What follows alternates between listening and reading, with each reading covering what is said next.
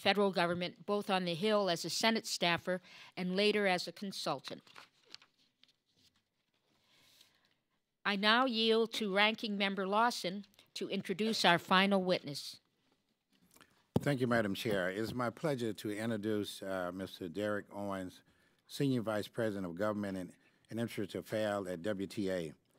Advocates for rural broadband. Proud to join in WTA. He worked at the U.S. Department of Commerce uh, National Telecommunication Information Administration. Ms. Owens has a master's degree in public policy from the University of Maryland School of Public uh, Policy and received his bachelor's in political science from Allegheny College in Pennsylvania. Uh, welcome, Mr. Owens, uh, to the committee. Thank you. Before the witnesses start their testimony, I would like to yield to Mr. Schneider, who is with us. Thank you very much, and thank you for uh, joining us. Thank you, uh, Madam Chairman, and thank you for joining us today uh, to the witness. Uh, this is an important hearing today as a powerful tool for both consumers and entrepreneurs. The internet services, internet serves small businesses in a multi multitude of ways. Unfortunately, 34 million Americans still lack access to high-speed internet, of which 39% live in our rural communities, compared to just 4% of those in urban communities. With more than 3.2 billion people online worldwide, internet use has increased almost sevenfold in the last 15 years. However, for small firms in rural areas, a lack of broadband access to, too often means trouble attracting new businesses, creating jobs, or breaking into new markets. Time and again, we've seen how the internet can connect companies large and small with new markets and new customers, something especially important for small, rural small businesses. The internet has helped small businesses across the country grow, and we want to ensure that rural small businesses are not left behind due to poor connectivity or an unreliable network. This is why we must support the expansion of broadband infrastructure in rural areas. All of America's entrepreneurs deserve a level playing field, regardless of where they are based. Today, we will hear more about how we can help small businesses connect to high-speed internet. On that note, I want to thank today's witnesses for being here, and I look forward to hearing your testimony. Ms. Fitzgerald, you are now recognized for five minutes. Chairman Radewagen and Blum, Ranking Members Lawson and Schneider, and members of the subcommittee, thank you for this opportunity. I'm Erin Fitzgerald, Regulatory Counsel for RWA, which represents wireless carriers with fewer than 100,000 subscribers. Our members are passionate about ensuring that rural America is not left behind. RWA members operate in areas where low population density, extreme weather conditions, and difficult terrain make doing so an expensive and challenging task insufficient spectrum access, a dysfunctional data roaming market, and declining universal service support exacerbate these challenges. Nevertheless, networks operated by small, rural-based wireless service providers promote public safety and encourage innovation and economic development each and every day. I want to start by briefly discussing Mobility Fund Phase 2, the Universal Service Fund program designed to support mobile broadband network deployment and maintenance in areas where there isn't a business case for unsubsidized coverage. At top of mind for RWA members is the Commission's recently released Initial Eligible Areas Map. RWA is concerned that the Commission's process has failed to yield an accurate picture of mobile wireless service throughout the country. Issues regarding a too low support budget, an onerous challenge process, and costs imposed by letter of credit requirements are also cause for concern. I'd like to talk a bit about some of the business issues at play in the marketplace. Rural carriers make every effort to offer robust coverage throughout their entire service area unlike larger carriers, which tend to focus coverage on towns and major highways. The decision to offer robust coverage results in additional capital expenses in the form of more network equipment, towers, and backhaul facilities. Operational expenses are higher as well, and small carriers typically pay higher per unit prices for the latest and greatest mobile devices because they are seldom offered volume discounts. Unlike nationwide providers, small rural carriers are not able to average the costs of their rural sites with more return on investment friendly urban and suburban sites. I'd like to turn your attention now to Spectrum. Spectrum access promotes marketplace competition, and Section 309J of the Communications Act requires the FCC to ensure that spectrum is available to rural telephone companies and small businesses. When designing future spectrum auctions, the FCC should ensure that it uses appropriately sized geographic licenses and bidding credits that will encourage auction participation by small providers. The secondary spectrum market is frequently touted as a silver bullet to address small and rural carrier spectrum needs. But leasing and partitioning do not provide small and rural entities with the spectrum needed for targeted local deployments. In fact, the secondary market works for consolidating spectrum in the hands of a few rather than dispersing spectrum among many. In order to keep spectrum in rural areas from lying fallow, RWA supports a keep what you serve approach to spectrum licensing, where if a licensee is not providing service to 90% of its geographic license area after a five year post renewal period, any unserved area should be made available for relicensing to providers who wish to serve it. This approach provides an incentive for existing licensees to continue to invest in market buildout and also promotes the rapid deployment of wireless services in rural America. Roaming issues are also of serious concern to RWA's members. The country's nationwide carriers often refrain from offering their own subscribers roaming on small carrier networks, even when their own coverage is inferior or non existent. While the FCC's roaming rules allow this practice, it is harmful to American consumers who are unable to access rural networks, networks those same consumers have supported through contributions into the Universal Service Fund. Further, this practice could threaten public safety. In the event of debilitating failure of one carrier, an untold number of consumers, including frontline public safety users, would be unable to communicate without bilateral roaming in place. Another problem lurking is the issue of VoLTE roaming. VoLTE, which stands for Voice over LTE, is the ability to make telephone call over a 4G LTE network. Nearly all the na nation's mobile carriers are using 4G LTE networks. The country's nationwide carriers are also actively shutting down their circuit switch 2G and 3G networks. What will happen when all mobile wireless carriers are LTE only and no longer use circuit switch networks to complete voice telephone calls? Will rural consumers be unable to place a simple telephone call because large carriers refuse to enter into VoLTE roaming agreements? There is anecdotal evidence to suggest that this is happening now, and action must be taken before 2G and 3G networks are shut down to make sure that all wireless consumers in America can make VoLTE voice calls when roaming. As I discussed earlier, universal service support is tremendously important to rural broadband network deployment and maintenance. The FCC is preparing to hold two reverse auctions for universal service fund support. Before a, bidding, a winning bidder can receive support, it must obtain an irrevocable standby letter of credit. RWA and its members are concerned that obtaining the necessary letter of credit will be a burdensome and costly process. RWA has worked with the National Association of Surety Bond Producers and the Surety and Fidelity Association of America to explore the possibility of utilizing surety bonds as an alternative.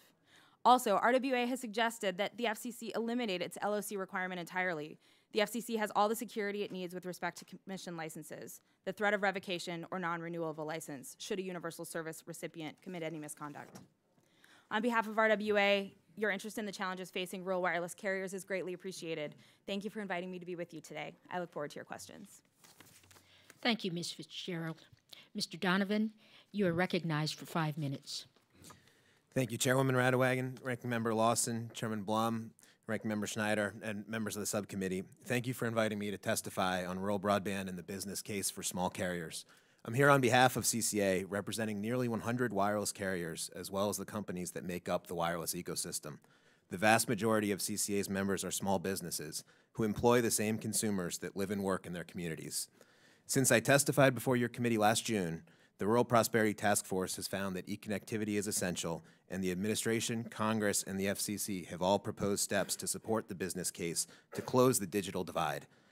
This committee's hearing just a few weeks ago on restoring rural America underscored the importance of rural broadband access, and today we will talk about policies to make that happen. Mobile broadband use continues to increase exponentially. In 2016, Americans consumed 1.8 exabytes of data per month using wireless connections. That is 1.8 billion gigabytes, or put another way, more than 7,000 times the total of all information stored in the Library of Congress each month and data use will grow another five times over the next five years. This staggering data consumption reflects the ways that mobile broadband powers every aspect of life, from jobs and economic growth to public health and safety. Amidst talk of infrastructure for the next century, including broadband, areas without mobile coverage cannot be left behind. Tech companies recently announced plans to deploy 4G mobile broadband on the moon, yet too many in rural America are unserved or underserved, despite millions invested by CCA members in their communities. With my full statement in the record, I'd like to focus on three key issues that directly impact small carriers. First, you cannot manage what you cannot measure. Reliable coverage data is critical to determine where funding should flow, including the FCC's $4.5 billion for Mobility Fund Phase 2 through the Universal Service Fund, and any new funding made available by Congress to improve infrastructure. While progress has been made since we discussed this issue last year, the underlying map for areas deemed initially eligible for Mobility Fund 2 support, released just last week, could prevent your districts from being eligible for support dollars. The updated data should have reduced overstated coverage and allow carriers to challenge claim service in those areas. It is now clear that the parameters selected by the FCC were not sufficient to produce a map that reflects the experience you have as you travel your districts. This is an acute problem for small carriers who do not have the time and resources to drive test vast geographic areas. Any areas that are presumed to be served and are not challenged, regardless of the consumer experience on the ground, will not be eligible for a decade of USF support. Second, rural areas suffer when small carriers must navigate a regulatory maze to deploy infrastructure. Application review delays, burdensome fees, and redundant studies increase uncertainty and make it more expensive to upgrade and expand service. And while te technology has evolved, these rules have not. Today, the same review process applies to deploy a small cell the size of a backpack as it does to build a tall tower. Congress has dozens of bills pending, including bills sponsored by members of this committee, to streamline deployment, and CCA urges swift action. This hearing is timely, as last week the FCC announced that it will vote on March 22nd to make sure the U.S. is 5G ready. This is important, not only for the future, but for deployments of all base stations, technologies, and sizes today. To be clear, carriers are deploying small cells in urban and rural areas alike. In fact, today, FCC Commissioner Carr is in Edinburg, Virginia, a town with no stoplights, viewing the economic benefits of smaller scale network deployments in a rural area with CCA member Shentel. Third and finally, small carriers must access the resources all carriers need to provide service. This includes invisible resources like spectrum. Carriers need greater access to spectrum at high, mid, and low bands. Congress can support small carriers in this regard by first, enacting the Spectrum Auction Deposits Act to eliminate a roadblock currently preventing the FCC from holding any spectrum auctions. Second, keeping the 600 megahertz incentive auction repack on time so that carriers can use this spectrum to serve consumers. And third, ensuring that all carriers can access spectrum in higher frequency bands. The largest two carriers have a head start in these spectrum bands, and to catch up, Congress must push for rapid auction of all bands ready for wireless use. Beyond spectrum, carriers must also have reasonable access to equipment, both for their networks and the devices consumers demand. This is not only a competitive issue, but a lack of access to devices and equipment can make it harder or impossible to follow regulatory mandates premised on the latest technology. Bottom line, this issue disproportionately affects small carriers who lack the economies of scale enjoyed by the largest companies. Policies established by Congress and implemented by the FCC determine whether small businesses in rural America have access to the latest services, or are left behind the modern mobile economy. Competitive carriers want to be part of the solution. Thank you again for holding today's hearing, and I welcome any questions. Thank you, Mr. Donovan. We appreciate your testimony. Mr. Carliner, you're recognized for five minutes. Thank you, Chairwoman Radewagen, Chairman Blum, Ranking Member Lawson, and Ranking Member Schneider. I'm Paul Carliner, co-founder and CEO of BlueSurf, and thank you for the opportunity to appear before you today. BlueSurf is a rural, high-speed internet service provider headquartered in Salisbury, Maryland. Our company was founded in 2009 with the goal of providing affordable and sustainable high-speed internet service on the lower eastern shore of Maryland. We provide services to homes, businesses, schools, hospitals, even to residents living on an island in the middle of the Chesapeake Bay. In 2010, our company was awarded $3.2 million by the U.S. Department of Agriculture's Rural Utility Service to build a new state-of-the-art fixed wireless LTE network covering approximately 100,000 households across three rural Maryland counties on the lower eastern shore. I want to thank the Rural Utility Service, the telecommunication program, particularly Mr. Ken Kuchno and Mr. Rick Gordon, who was so instrumental in helping our company and many others build out the rural infrastructure, as well as the state of Maryland and the Maryland Broadband Cooperative, two critical partners in our ability to bring rural high-speed internet service. I'd like to share with you our experiences and lessons learned as a small rural ISP. First, I think it's clear that the only way that rural America will cross the digital divide is through a sustained public investment on the local state and by the local state and federal governments. Without public investment, rural high-speed internet companies will be limited in their ability to grow and sustain service over the long term.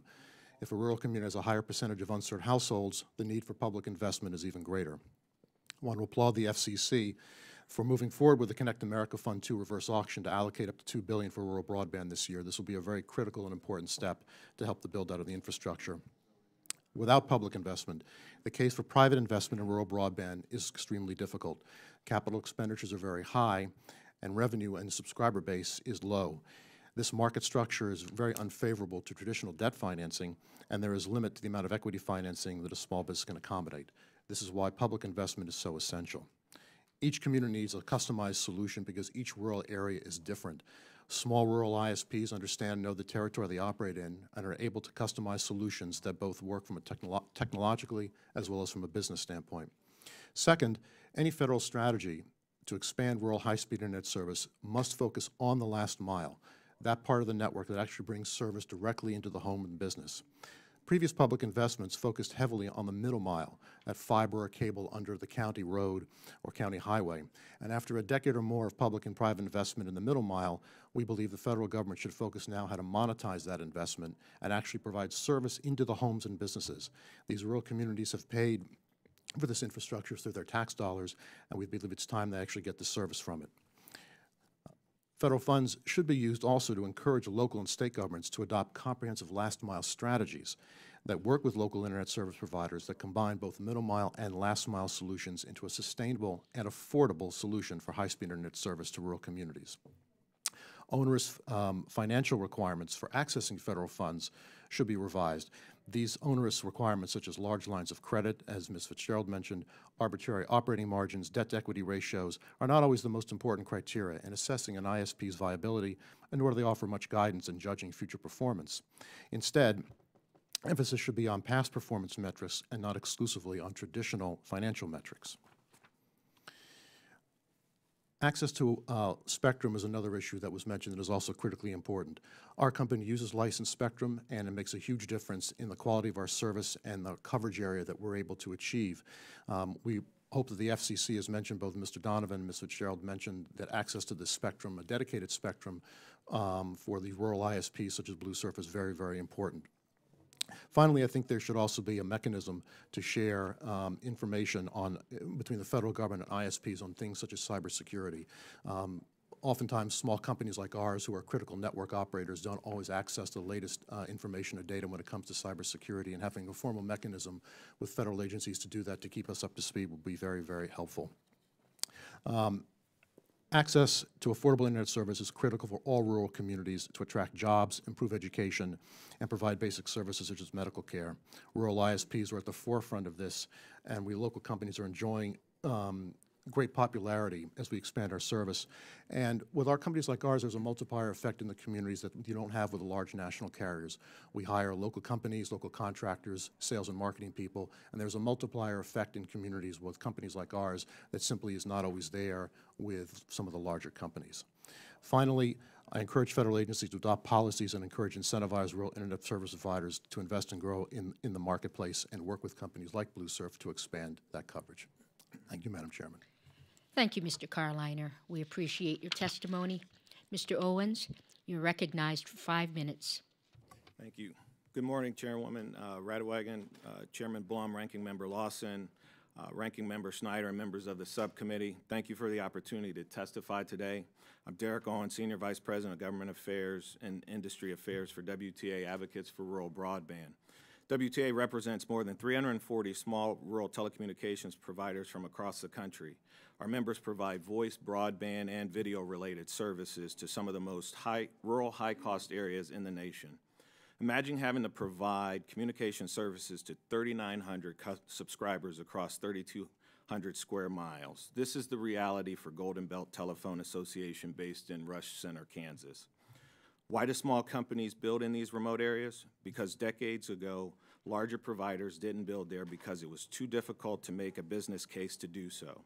This is the reason why small rural local exchange carriers, RLECs, came into existence and why without them, rural America would be left behind in this digital age. I'd like to highlight a few areas where policymakers can make a difference when it comes to helping our member companies deploy broadband in rural America. First, there must be stability and predictability with the Universal Service Fund. The Communications Act requires universal service support to be sufficient and predictable. In 2011, the FCC adopted two, adopted a $2 billion budget for RLEC's, uh, the RLEC portion of the USF High Cost Program. To remain under budget, a budget control mechanism was adopted that reduces support automatically if the budget is, ex- is exceeded. While the FCC approved several other cuts and constraints, the BCM, as we call it, is probably the most onerous. Last year, a WTA member testified before this committee about the importance of USF and how the frozen support level, uh, as well as the cap on the high-cost program and the imposition of the BCM was making it difficult to invest. In the last year alone, a member company in Kansas and one in Illinois have seen their USF support reduced by over $400,000 and $800,000 respectively respectfully because of the BCM. These are just two examples. There are a couple of more in my testimony. These unpredictable year-to-year support reductions are certainly proving to disrupt and discourage investment.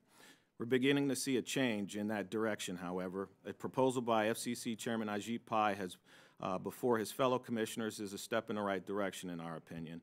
It seeks to restore some of the cuts in USF support while asking important questions about the overall sufficiency and size of the USF budget going forward. We greatly appreciate the work several members of this committee have done to help us get us to this point. Point two, it's encouraging to see much attention being placed on rural infrastructure in Congress and within the administration. WTA supports the $20 billion that's called for in the February budget agreement, uh, and we support the $50 billion in the President's uh, infrastructure outline presented to Congress a few weeks ago. However, these proposals don't go far enough. There needs to be dedicated funding for rural broadband infrastructure. We should do more. We should also do more to ensure the broadband infrastructure needs in tribal areas are being met. WTA supports a proposal by the National Tribal Telecommunications Association that would increase an RLECs USF high cost support if those companies actually serve tribal areas. We understand a variation of this proposal is being considered at the FCC and may be part of Chairman Pai's proposal. Finally, when it comes to government regulation, there is no argument that government needs to keep track of where and how federal funds for broadband and USF dollars are being used. The debate is not about regulation and reporting versus no regulation and reporting, but how much, how often, and what kind. Regulation can often be helpful when it comes to ensuring small businesses that lack market power can compete against much larger companies. For example, our members benefit from regulations requiring large providers to interconnect with smaller ones so our communications networks functions properly. Our member companies can also benefit from updated reg uh, video regulations. Again, at times, regulations can enhance competition. There's also the case that some regulations are unnecessarily burdensome. Several of our companies have analyzed how much time and money they spend completing filings for the FCC, RUS, and other entities, estimates that run around 80,000 to $90,000 annually.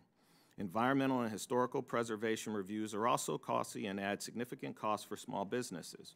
While some rules, regulations, and reviews are necessary, others can be eliminated or reduced without any significant adverse to the public. For instance, all regulated telecommunications providers are required to complete the FCC's local competition and broadband report known as the Form 477. That's twice a year. The data are used to produce an annual report to Congress and to update the national broadband map. The FCC estimates the average company will spend 387 hours per semi-annual filing, or 774 hours per year. WTA believes this proposal can be completed uh, with uh, annually. WTA has, been, WTA has been supportive of several bills that would provide regulatory relief to small carriers. For example, a bill introduced by Representative Curtis would expedite environmental reviews for broadband projects using existing operational rights-of-way on federal lands. Our member who testified last year had to wait nine months to get an environmental approval uh, to install fiber along a federal highway after receiving a federal stimulus uh, grant loan combo. Another company wanting to lay conduit along a Forest Service road was forced to pay for an environmental impact assessment, even though the road, the road is regularly repaved and the area around the road is sprayed with herbicide. These types of reviews add 18 to 24 months to the length and 10 to 20 percent to the cost of broadband projects. In closing, WTA members work hard and under difficult circumstances to bring broadband to their communities. Government has an important role to play here. Predictable support and smarter rules and regulations will help rural telcos put their limited resources to best use. Thank you for this opportunity to testify. I look forward to answering your questions. Thank you, Mr. Owens. Now we'll begin the first round of questioning. I now recognize myself for five minutes. This question is for all the witnesses. What does it take for a small carrier to develop broadband in isolated areas such as American Samoa, Puerto Rico, the various islands of the Marianas, or some of the most remote parts of Alaska? These are places that you can't drive to, you have to take a boat or fly to. Well, Chairman, one thing that uh, is important in serving remote areas like Alaska, um, like like uh, your home district, is is making sure that you have certainty around these timelines when you need to use helicopters and boats and, and other mechanisms that you don't need to, to use to deploy services in, in places like Washington, D.C. You need to be able to schedule that ahead of time. Um, this has really been seen with some of the recent natural disasters in several areas, including American Samoa, about how certainty about what you can do and when you can bring equipment in needs to be lined up with the permitting process and streamline that, especially as you're looking to expand coverage or restore service where it's been out, so that you can actually provide service in some of these very remote areas where it's already very high cost to serve. Ms. Fitzgerald? I agree with that. I also think that, you know, we talked about the business case here, and in some of these very remote, very rural places, you know, y- you lack subscribers. There's not enough subscribers to make the business case. And so, in that case, universal service is critical. Um, you know, adequate and uh, reliable universal service support is what makes or breaks those networks. Mr. Carliner? I, I certainly agree with that. And I think the also important thing is to recognize that for a solution for an island, for example, is going to require a really comprehensive planning and bringing the stakeholders together.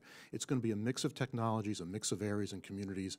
And I'd say the most important thing from our experience is to make sure that the engineering and the technology matches with the business plan. They have to go together, and it's important that they fit together to make it affordable, to make it both sustainable as well as affordable for the community. So proper planning and bringing the elements together, technology and business and the stakeholders together is, is I think, the most important first step. Mr. Owens? Thank you. I would add um, that, again, uh, sufficiency and predictability in universal service is by far one of the biggest issues um, because those dollars are actually used to build networks. Uh, and without the underlying infrastructure in place, you're not going to get some of the other technologies that you would use to complement the services that you're bringing uh, to, to very rural and remote areas. Ms. Fitzgerald, can you discuss what geographic area size might be attractive to small and regional providers as they compete for spectrum at auction and provide some background on why the FCC may have chosen not to employ smaller geographic area licenses in past spectrum auctions? Sure. Uh, in terms of spectrum auctions, geographic license size is always uh, a point of contention, usually between large nationwide carriers and small rural providers. Um, RWA has uh, largely supported uh, an area called a cellular market area or a CMA. Uh, which is a subdivision. They they go as large as nationwide and they go as small as census tracts. So we tend to favor uh, sizes around the CMA area. Um, there are, I believe, a little over 700 of those nationwide. Um, we have also supported, uh, for instance, in the uh, current uh, CBRS proceeding support county size or census tract license sizes. And generally, you know, if, if, if I'm a small carrier, I have a maybe a two or three county service area. First of all, I can't afford a nationwide license. I can't even afford, you know, licenses significantly smaller than nationwide. I want a license size uh, that I can afford that I'm going to be able to utilize to provide support to these service areas and, and, a, and a license size that I can afford to build out. Obviously, there are build out requirements tied to licenses won at auction. So if you win one of those licenses, you need to be able to build it out. If I'm a nationwide carrier, you know, smaller licenses mean more administrative minutia. Um, and so uh, it also means you have to compete in more markets to win licenses to cover the territory you want to cover. So we support smaller license sizes because it uh, increases the number of bidders in an auction um, and it doesn't depress auction turnout. Thank you. I'm running out of time here, so Mr. Donovan, what's your current view of the FCC's approach to mitigating overstated coverage areas on the broadband map? And can you elaborate on the disproportionate impact this might have on small carriers? Sure, thank you for the question. So um, the, the map that's out right now for the initial eligible areas for Mobility Fund 2 was supposed to have a better starting point, looking more like coverage on the ground. I think uh, if, if you looked at the map, um, you'd be surprised, Dr. Marshall, that most of the Big First has coverage of 4 megabit, of 4G LTE um, across just about the entire district, or um, Rank Member Schneider, that St. Elizabeth is served and you have to drive hundreds of miles to find a dead spot based on this initial areas. Uh, the problem there is that if these areas are not challenged by a small carrier that wants to seek support in this area, and that means go buy a phone, go buy a plan, drive test it, submit that data to the FCC for the chance to participate in an auction, um, which is costly in itself, then these areas we're going to keep going on marked as served, and support will not be eligible for them. Thank you. I now recognize Mr. Lawson. Uh, Thank you, Madam Chair, and, uh, and I'm going to start uh, with Mr. Owens. Uh, M- Mr. Owen, and, and I, and I'll preface this by saying that I know that the administration, and administration start uh, to uh, look at cuts that they can make in the 2019 budget.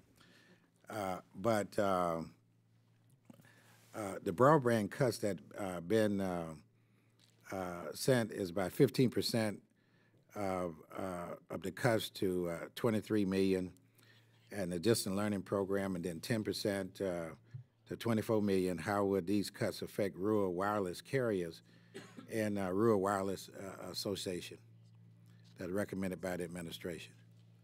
So, thank you for the question. Uh, Our association, we, we represent the wired portion of, uh, of companies. Um, We don't necessarily uh, represent them on the wireless side, but I will say this.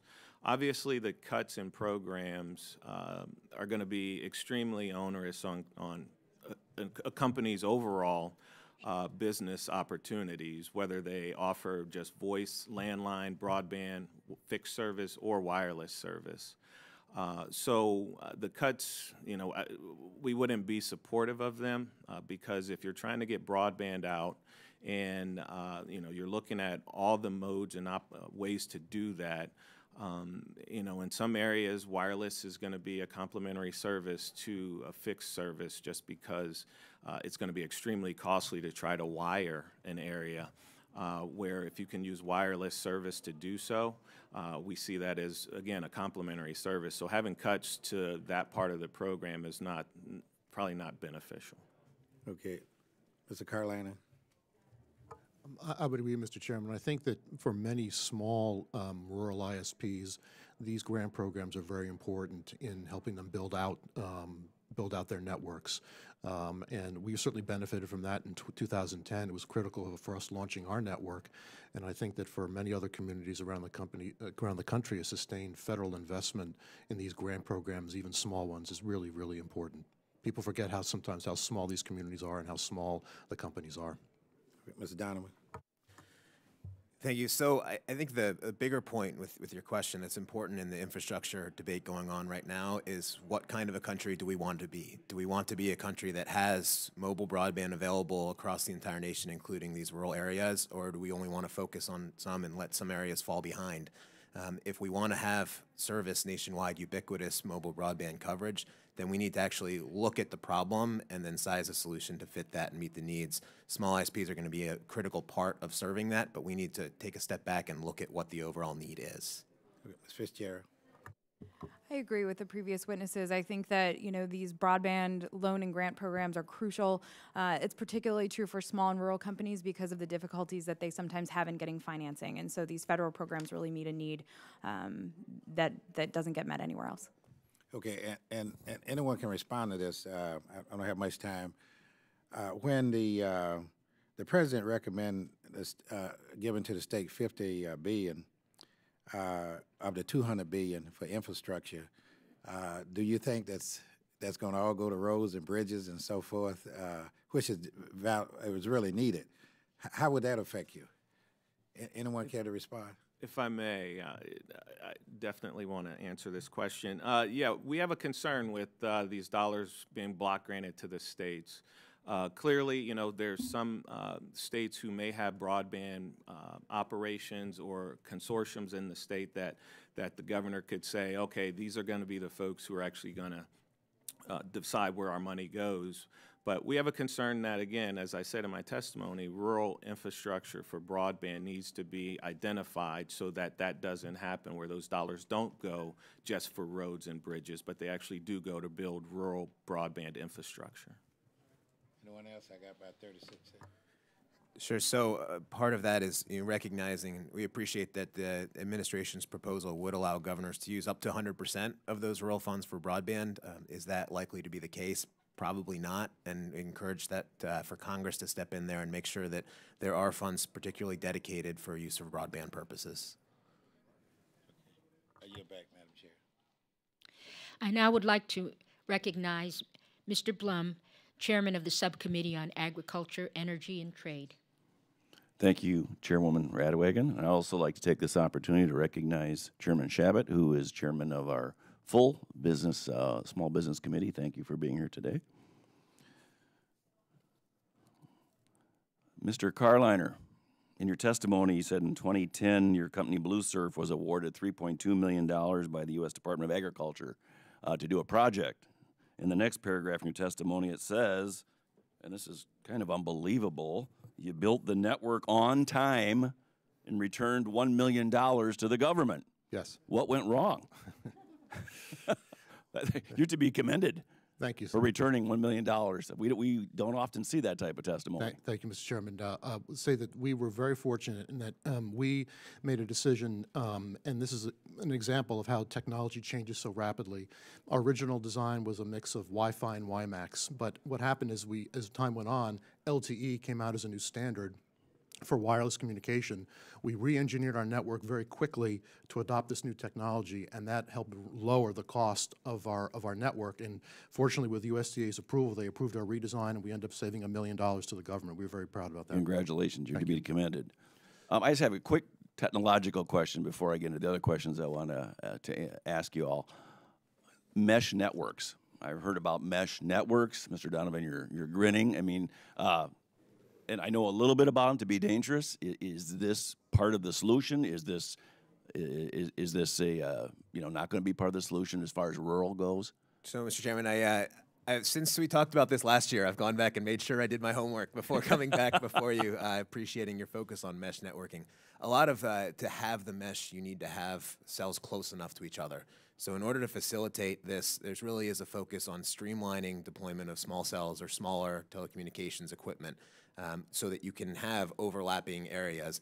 To do that, there currently are, are significant barriers to being able to deploy um, and that increase the cost, environmental review, et cetera. I think last time we talked about how you could deploy a small cell on the side of your house if, if you were willing to go through an environmental assessment, a historical review, pay the associated fees, and you made it very clear that you were not going to do that. Uh, and that's the case facing carriers who are working to densify networks today.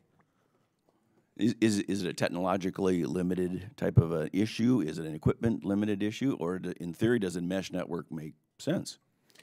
So it, the In theory, technology, in techno- theory. in theory, I mean, the technology is evolving, and, and that is where we're going. Um, that you do still need to be able to bring that network back to uh, backhaul access to fiber, and so that depends on permitting on how many hops away you can get from that until you truly have a, a mesh network.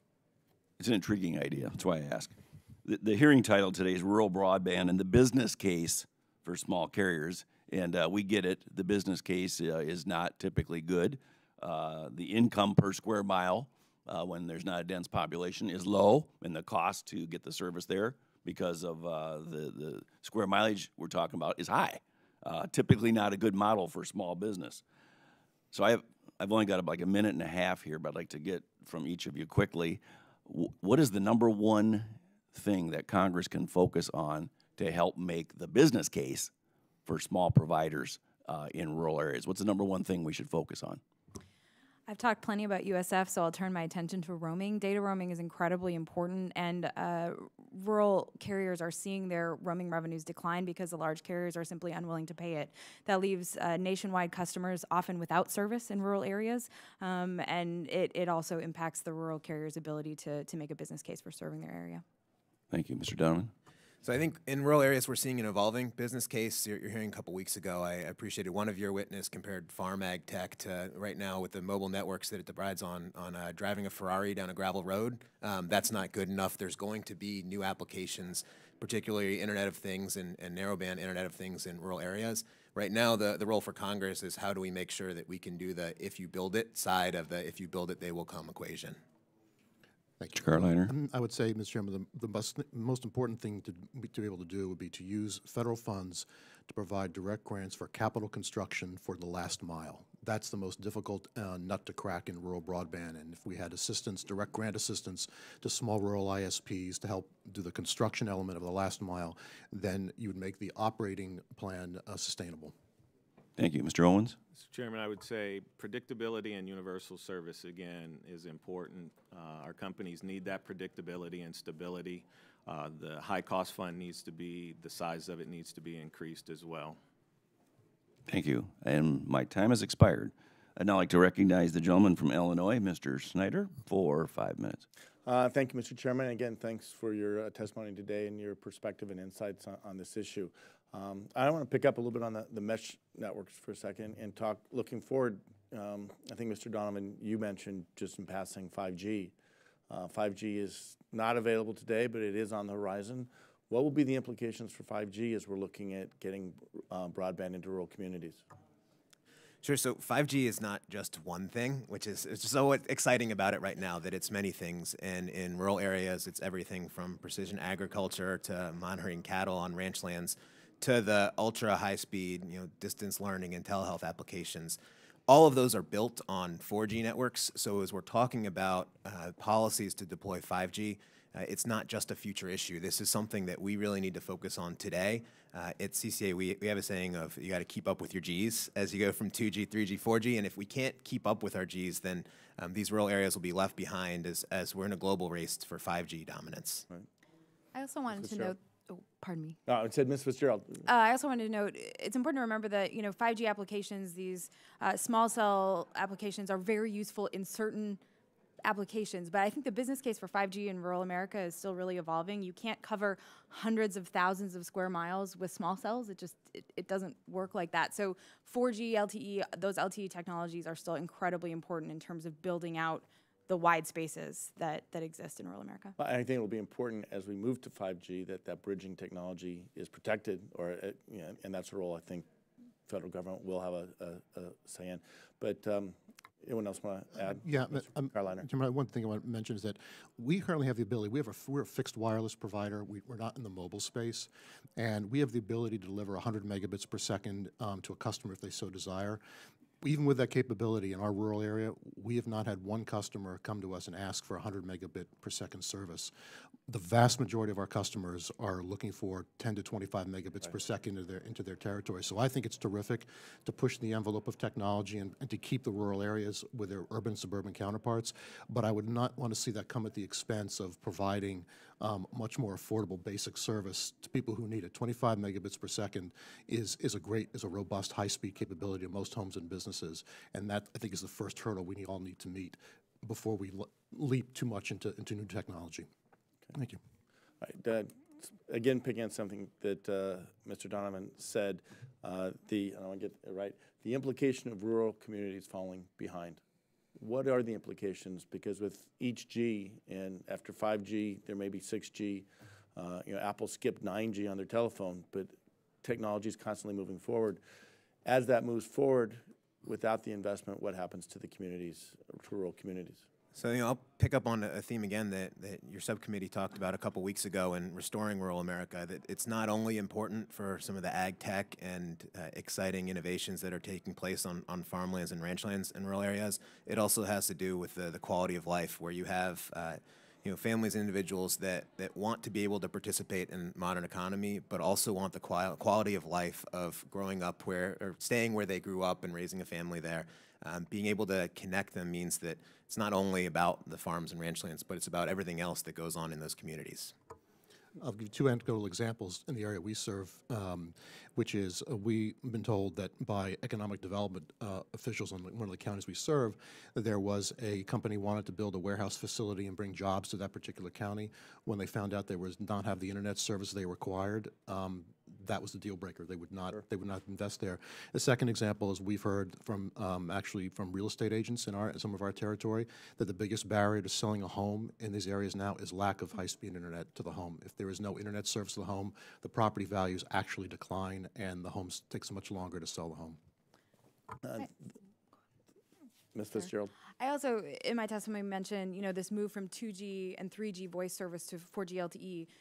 I mean, this is a change that could really decimate voice roaming in areas, which means that if you're not, if that's not your home carrier, you may not have voice service. You couldn't make a, an emergency phone call. It, it, it we want to make sure that the level of service is preserved as these technology uh, technologies move forward. And in the last couple of seconds, half minute I have, uh, it also affects education, telehealth, things that are moving throughout the country will affect uh, rural communities. If they're left behind, will make it harder for people to go back home, as you said. Uh, I think it's important that we maintain that. And Mr. Carlin. I'll say there's one, we have one school district where, uh, in area near where we serve, where the kids at night get, their, the parents drive them to the parking lot of the school at night to get the free Wi-Fi because they don't have internet service at home, and they do their homework in the car in the parking lot. well, thank you. With that, my time has expired. I yield back. Thank you, Mr. Schneider. I'd also like to mention that Mr. Schneider is the ranking member on our subcommittee on agriculture, energy, and trade. I'd now like to recognize the gentleman from Utah, Mr. Curtis, for five minutes. Thank you, Mr. Chairman. Uh, We know a little bit about rural in Utah, and I'd like to thank uh, our witnesses for being here today. Mr. Owens, you were kind enough to refer to my Rural Broadband Permitting Efficiency Act of 2018, and I'd like to just go back to that for just a minute. Uh, Is it your experience uh, that federal reviews and permitting requirements are a major challenge, and especially if you think about the West, where um, I have some counties that are 90% federal land, and, and would you mind just expressing your opinion on that, and, and will this bill help? Yeah, thank you for the question. Um, We believe this bill will help expedite the processes, uh, as you alluded to, and as I indicated in my testimony. We had some, some of our members, it took many, many more months and almost a couple of years before they could actually get a project approved. So we think this will be helpful uh, going forward. Um, We do want to talk a little bit more about the state permitting uh, authority uh, to understand that a little bit more, but we ultimately believe the, the bill is, is, is a good one. Thank you. Um, I, I must admit, as I listened to the four of you, I, I formed a picture of David and Goliath in my mind. And you must feel at times as if you have little pebbles, uh, right, that you're uh, throwing at this uh, big monster. I guess one of the questions I have for you is um, can we get there from here? And you've got some fundamental uh, building blocks. You've got uh, subscriber revenue, you've got the uh, USF fund and ro- roaming uh, revenue. You, you've all brought up some flaws, especially with the latter two of those. And are you comfortable that we have the model in place uh, to help you be successful? Mr. Donovan, you're ready to answer that question. Yeah, so um, I think if you set the right policies, then and David's got a fighting chance here. Um, with respect to your bill and your work with Senator Hatch on this, thank you for those efforts. Um, one of our, our members, Union Wireless in, in Wyoming and parts of Utah, uh, when I visited them last summer on their yard, they had rows and rows of conduit that were waiting to go in, um, that were waiting to bring service to cell towers that will bring LTE service.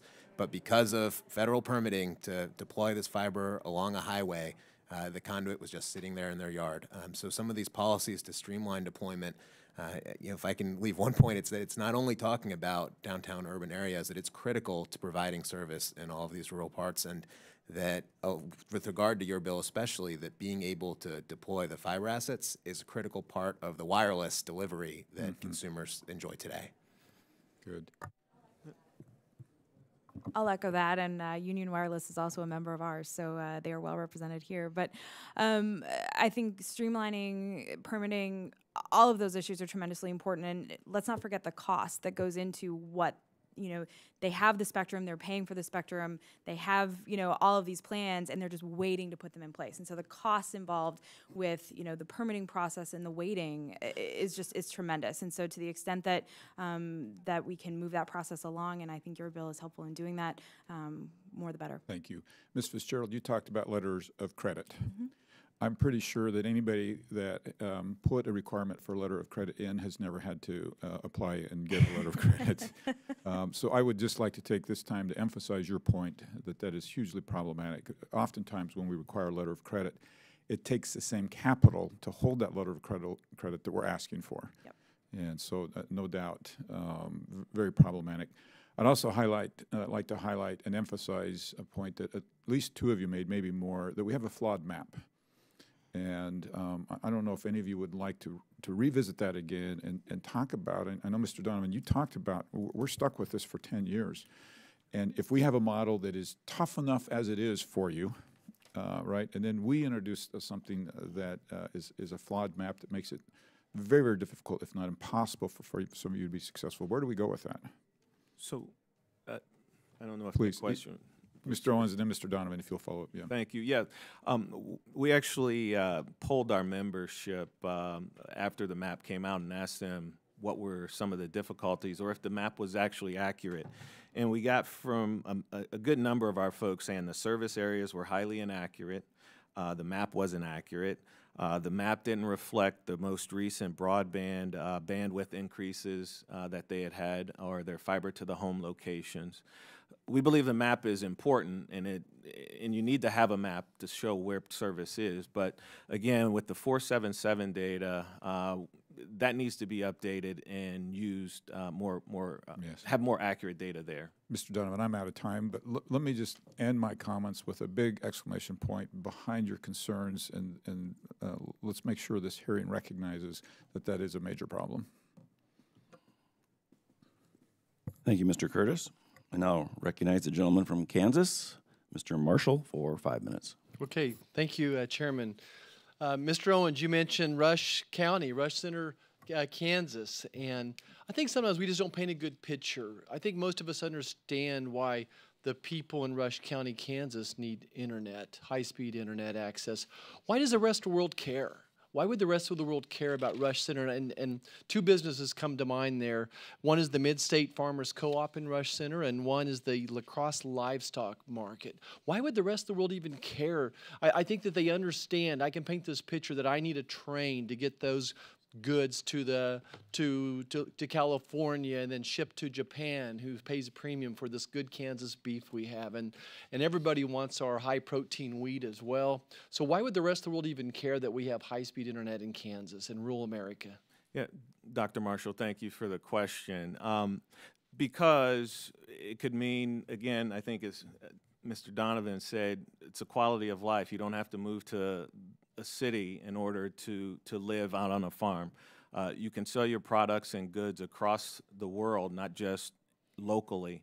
Uh, and you can do it at a cost that's probably much cheaper than actually going and having to, to, to do this in an, in an urban environment. So those are some of the reasons why uh, it's important to have high-speed broadband connectivity in these uh, rural areas. Yeah, and Mr. Donovan, I know you've got some quite a presence as well in my uh, district as well, and trying to understand your map. I was looking at the little map you were talking about, but kind of does it drive the cost down for consumers that, that the fact that La Crosse, Kansas has high speed internet? I hope. So I, I think you're right in talking about how the, the world wants the products that, that are created in Kansas, um, and you know a lot of these products are more efficient. We talked a little earlier about how um, you can have higher yields and use less resources if you have precision agriculture technology. There's a lot of focus now on self-driving vehicles. Well, rural America has had those for years. They're just made by John Deere, Case, and, and others. Um, those don't work if you don't have the mobile network that actually provides them.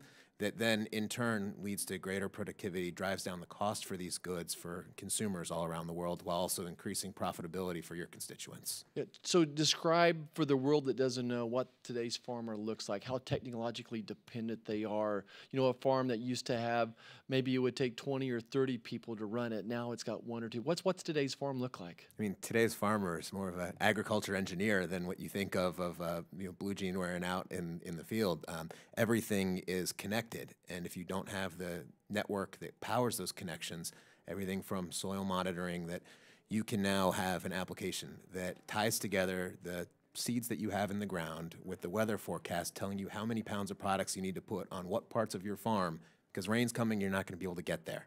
Um, how do we make sure that that's available to today's farmers so that they can continue to compete in a global economy? Right, and you know I know my farmers are are so ecologically minded today, and they always have been. They've been the greatest caretakers of, of, of Mother Nature.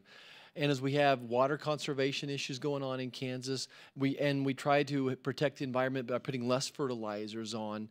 Uh, Ms. Fitzgerald, do you want to talk a little bit? How does the farm today's farmer use technology to, for water conservation and and maybe decreasing the inputs, not just to drive the cost down, but also to help ecology? Sure. I, you know, we say that uh, supporting rural America strengthens all of America, and I think that's especially true when it comes to the the case for um, ag tech and things like that. I mean, certainly anything that you know those farmers out there can use to make them more efficient and and certainly uh, you know take steps to to preserve um, the land. I think that they're more than happy to do so, but they need the connectivity to do it. And I'll remind uh, the committee that you know those connections don't occur right next to the road all the time, and so it's really important that those networks spread you know into pastures, into fields, and are able to connect with with uh, the machines that are available out there. Yeah, I, I've shared this story before, but my mother was raised on a farm where she was the last farm on a dead end road and didn't have electricity until eighth grade. And I'm just trying to imagine what that farm would be like from a production standpoint without electricity. And this is the 21st century last part of you know getting electricity that last farm. And we're, we're blessed to live in a country where we spend 8% of our uh, domestic product on groceries on food. Uh, where, most is most uh, most world leaders are spending 18 25% and i can't help but think that this high-speed internet is, is part of that solution to why we, we can do that uh, mr carliner you want to add anything to that give you a No question. In, in our, in our service area, uh, Dr. Marshall, we have, Delmarva a- area is a large poultry processing, poultry growing region. And one of our, we've heard from poultry processors and farmers who are desperate for high-speed internet for remote sensing, monitoring chicken houses. Farmers are one, a group that demands the internet more than any other group, I think, in our area. We hear from farmers all the time for precision agriculture, monitoring, remote sensing. It's as important to them now, as you just mentioned, as electricity in the 1930s, and then phone service. Internet service is a critical utility to farmer today as anything I, I can imagine. Yeah, and for the record, it was the 1940s. I want to make my mom older than she is. She's going to turn 80. Let me see, what is today's date? I think it's t- tomorrow or the next day, whenever March the 8th is. Thank you, Chairman. I yield back. Thank you, Dr. Marshall.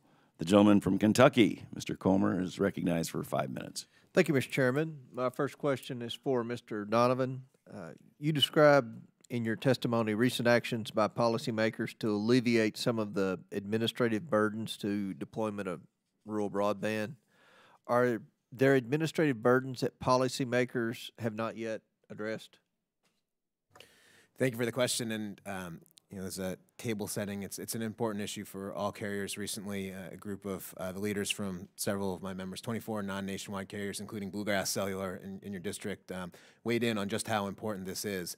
Now, I, it's it's spring training, so maybe I'll take it that it's maybe we don't need to swing for the fences and hit a home run. We can score a lot of runs with, with singles, and so where the FCC can act this month to start streamlining that process, they should uh, where there's other spaces for Congress to act, like some of the bills that we've discussed today, that that's another great opportunity.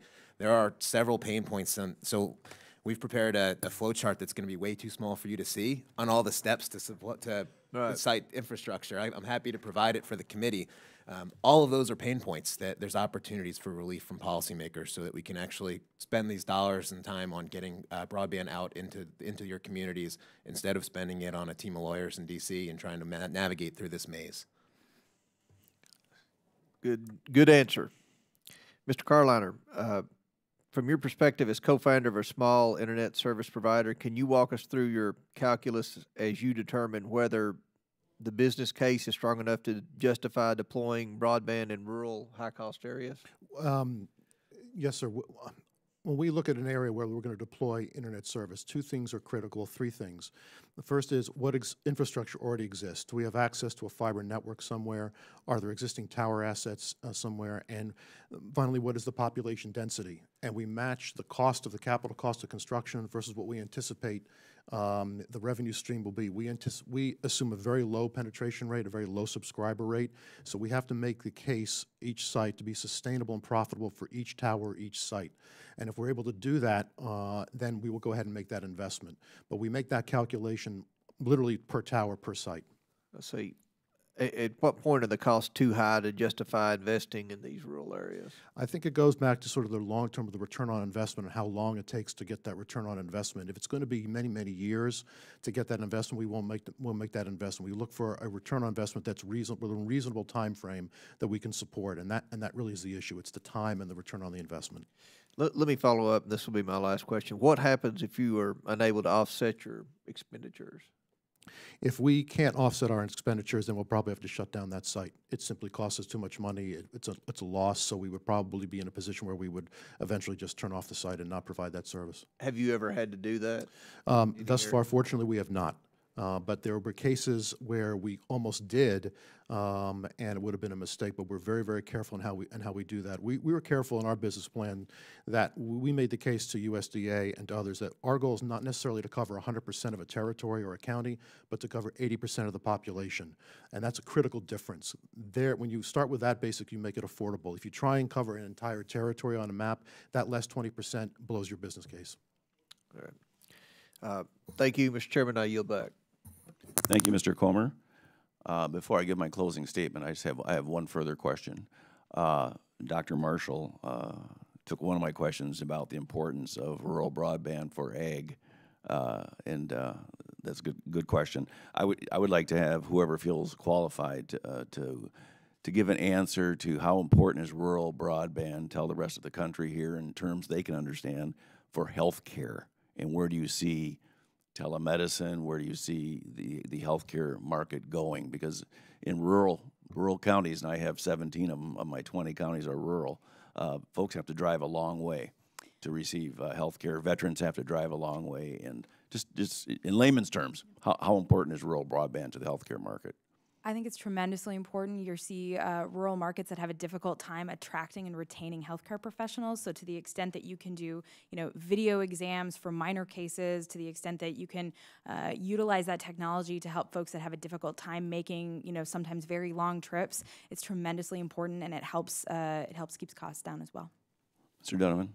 And just to add on to that, that um, it matters just it, in the day to day as well. An important aspect of, of telehealth is some of the monitoring programs. And one of our rural carriers that serves Sunflower County in the Mississippi Delta has already saved the state Medicare program hundreds of millions of dollars from a remote diabetes monitoring program that has reduced the need to go visit hospitals and is in trans- transforming these patients' lives. So it's, it's important. Where's that at, Mr. Donovan? In Sunflower County in the Mississippi Delta, um, not a heavily has, has saved how much? Has saved the state of Mississippi over $100 million so far just on monitoring. Um, so there's, these are real dollars and, and real changes in patients' lives. The, uh, the comparison to electricity is, is an adequate one that, um, and one that the CEO of Qualcomm had made earlier this year, that 5G is going to be just as transformational as, as electricity or the automobile. Um, that means that it affects every other industry that it touches, including healthcare. And so it's that important to make sure that these areas have access to these services. You're right. That, that is real money, E- even in Washington, D.C. I would Mr. also Carliner? remember that it's also important, what people don't realize in urban areas, how important rural areas are in this, in this field. For example, there are, um, in being in a rural area, the, it allows us to be a test bed for new technologies and new approaches that you simply can't do in an urban area. For example, in our lifetime, we're going to see drones um, become regular parts of our, of our lifetime. Drones going to need um, networks to connect to, and I think rural areas are going to be the test beds for, for drones and for this new world and the IoT and Internet of Things that rural areas provide great test beds, telemedicine, telelearning. Approaches and technologies and services that can be validated in a rural area that don't lend themselves to the urban area first. So I would say to folks who are living in the cities, why rural area, rural areas are so important is because a lot of the technologies and services that have just been talked about start in the rural area first and then are adopted in the urban area. Interesting.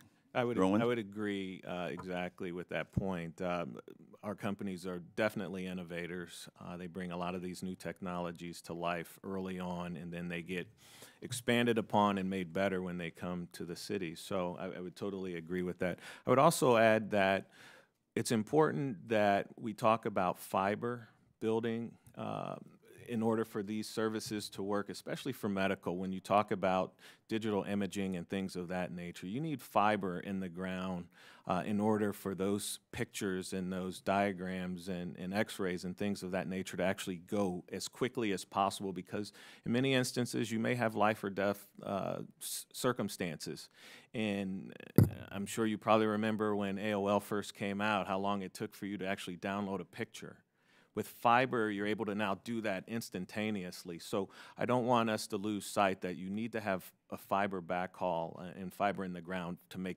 even medical uh, imaging work properly. Thank you very much for those insightful answers. I'd like to recognize Dr. Marshall for as much time as he may Well, need. well, Thank you so much, Chairman. I just, my eyes lit up to talk about telemedicine and how important this is.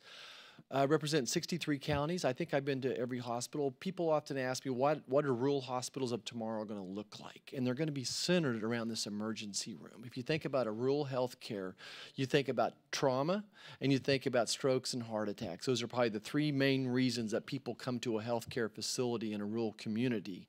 Colby, Kansas Citizens Hospital, uh, Little Colby, Kansas, but they're, they have an ER that's connected 24 7 to a trauma center. And we now have heart protocol and stroke protocols in place. So when a person presents, it's so important in that first 30 minute window to give them a, a blood thinner, a TPACE drug uh, that can literally save their life. And it's going to, from a healthcare cost efficiency, if you prevent that stroke, think how much stroke patients cost to rehab. And, and they spend maybe 60, 90 days in a hospital and then months in a facility. So having access to that inter- and, and just having a nurse on the other line 24 7, there's big complications from TPA. You don't want to give it to the wrong patient and have them bleed out on you.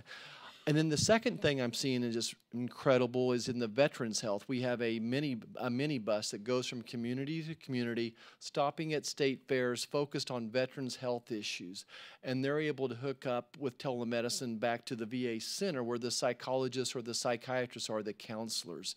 We're losing 22 veterans a day to, su- to, to suicide. Those folks aren't going to drive 300 miles to the VA center from rural America. This is a, a minivan going out to them and, and asking how they're doing.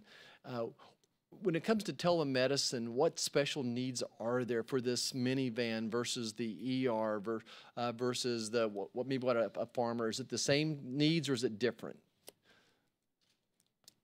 I think in many ways it's the same. I mean, anytime you're you're doing sort of real time, you know, video, you need you need a strong mobile network, particularly in the vans that you mentioned. You know, they may be parked in a parking lot somewhere. So you really do need, you know, strong download and upload speeds, strong network to to to convey that real time back and forth data. I mean, that's that's the trick.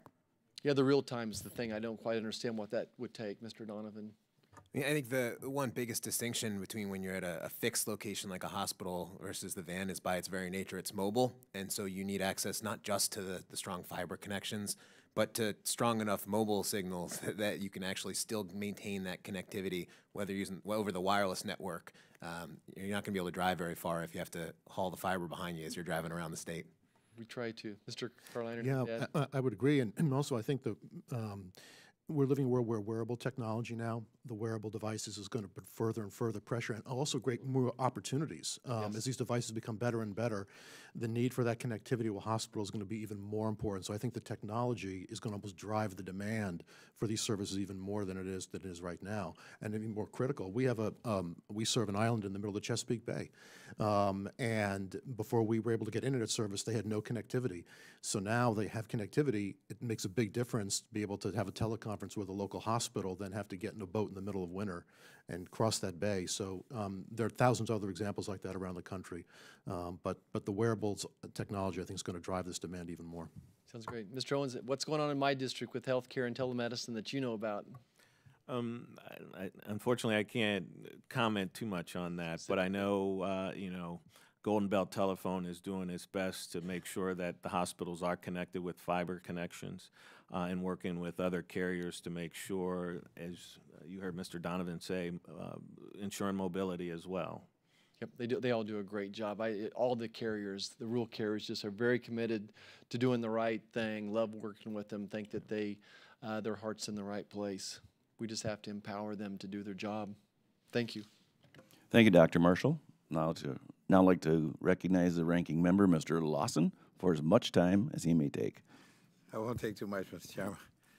Mr. Donovan, there are numerous uh, recommendations for promoting broadband infrastructure uh, uh, deployment that we discussed today, and then there are many, uh, many have proposals create new federal programs in various departments to make capital available for broadband infrastructure. What are your views on these uh, proposals, and are any better suited to address uh, the needs of rural areas? Thank you for the question. I, I think part of it goes back to making sure that agencies that have uh, an understanding of how these carriers operate and where service is available is, is a fundamental part of it. Um, that is, of course, you know, premised on having accurate data available to those agencies. So, with any funding coming available, um, you know, there is not enough universal service fund support just full stop. But for any of the programs, I think my colleagues on the panel would agree with that, um, anything to provide additional resources to those carriers is important. We also, in that same vein, um, the Universal Service Fund is not an appropriated uh, budget item, and we, we don't want it to become one. Uh, it's hard to build out with the certainty that you may have through a couple week continuing res- resolution. Um, that you need to have long term certainty in order to deploy in these networks goes back to in Congress creating the fund. Congress directed you know reasonably comparable services, and we've heard before today with sufficient and predictable support. Um, so how can we make that sure that that happens? Okay, anyone else care to comment on that? I would just add, obviously, any monies that are appropriated should uh, be targeted uh, to make sure that um, we're able to, to again make the most use of those dollars in building out the networks and using those dollars to to work with the Universal Service Fund. As Mr. Donovan said, it's not appropriated dollars for USF, but any appropriated dollars that do come, uh, I think it would help, uh, you know, make it easier and better to, to build out additional broadband. And, uh, you know, I grew up in a in a very uh, rural community, and uh, when I was a kid, you know, uh, my brother and I was fascinated when electricity finally came, and when the light came on uh, in the area, uh, we stayed up all night trying to see when it was going to go out, you know, because uh, we had never seen it before. Uh, in the rural area now with broadband, uh, kind of reminds me of people who don't have access. You know that uh, how extremely important it was for us, you know, to get electricity because they didn't bring it out there. It was the rural electorates who uh, tried to bring it out there. Do you see a Do you see a similar type situation, you know, with broadband in the rural areas, uh, similar to what I'm speaking of? Sure. So uh, we hear time and time again from customers served by rural wireless carriers how uh, it's it's a breath of fresh air when you go from having unreliable mobile broadband coverage or constant dead spots to being able to seamlessly connect. So I think that that experience is, is being enjoyed now. We need to make sure that more and more Americans are able to have that breath of fresh air. I agree. It's it really is a matter of quality of life. It's you know your kids being able to do their homework. It's you being able to you know be driving on a on a road at night and, and calling 911 if if you need to. It's it's about public safety. It's about all of those things. Starting a small business. Um, it- it's really about the quality of life that that uh, we want our citizens to have uh, throughout the country and also in rural areas. And also, um, uh, Mr. Lawson, we found that even in areas where there was no internet service, people were using their cell phones. and their cell phone bills every month were $400, 500 a month because they were blowing through their data limits because they had no other alternative. When high-speed internet arrives, that goes down to 40 or $50 a month as opposed to 400 or 500 a month. So there's real, even immediate impact even beyond the, the, the need um, for the service itself. Yeah, I would add uh, that as wireline uh, broadband providers, our carriers, when they get um, a certificate area for service, they have to serve that whole area. Uh, so they just can't pick and choose where they where they're going to serve. And we have ca- carriers who are saying their most their customers at the far extreme of their service territory are extremely happy when they get broadband. It may not be the full 25.3, it could be 4.1 or 10.1, but they're extremely excited once they get it because they've not had it before. Thank you, Mr. Lawson. You may not have had electricity, but I'll bet you had a basketball hoop. I'd like to thank our witnesses today for your excellent testimony. Uh, make sure you stay in touch with the members of this community because I think everyone would agree it's the most important uh, issue, especially for those of us who represent rural counties. We've heard today just how difficult it can be for small rural carriers and new entrants to maintain a viable and sustainable business. As with any small business, access to capital and adequate financing is a key to stability and success. We're reminded that should these carriers become unable to sustain their business models, the outcome most likely would be disastrous. The end result is that our communities and our citizens located in these high cost rural areas pay the price. The path to a comprehensive infrastructure plan should include solutions to improve rural broadband and fair competition for our small carriers. Our family farms, our rural entrepreneurs, small towns, and the next generation of innovators depend on it. I ask unanimous consent that members have five legislative days to submit statements and supporting materials for the record. Without objection, so ordered, we are adjourned.